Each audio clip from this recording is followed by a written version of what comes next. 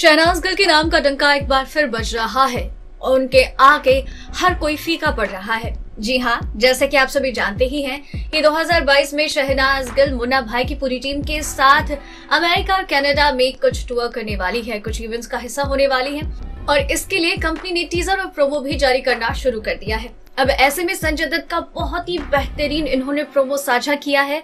और मैं आपको बता दूँ कि कहा जा रहा है कि अब आपको स्टेज पर दिखने को मिलेगा ये टाइगर। लेकिन टाइगर की चमक को फीका पड़ने में जरा भी वक्त नहीं लगा, जब प्रोमो के रिलीज़ होने के बावजूद भी फ़ैन सिर्फ़ शहनाज का नाम ही गुनगुना रहे हैं, सिर्फ़ शहनाज का नाम ले रहे हैं कि शहनाज का प्रोमो कब आएगा। शहनाज को हम देखेंगे स्टेज पर। मैं तो बस शहनाज को ही शो में देखने के लिए जाने वाला हूँ। शहनाज, तुम्हें स्टेज पर देखने के लिए बेकरार हूँ। मेरी शहनाज, कब आओगी तुम? इस तरह से कमेंट सेशन पूरा भरा हुआ है।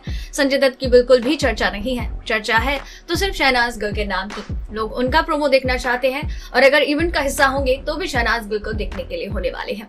तो आप अब खुद ही अंदाज़ा लगा सकते हैं कि शहनाज गिल अब वो ब्रांड है, जिसके आगे हर एक ब्रांड फीका पड़ता नज़र आ रहा है। आपकी इस पर क्या राय है? क्या विचार है? साझा कीजिएगा कमेंट सेशन के थ्रू।